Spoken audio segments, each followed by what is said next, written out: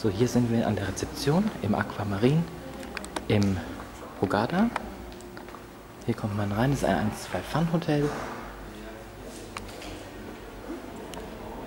Und hier, wie gesagt, der Eingangsbereich. Und dann kommt man hier in eine riesengroße Halle. Und hier sind dann jede Menge Sitzgelegenheiten. Gut, also Insgesamt haben wir 1000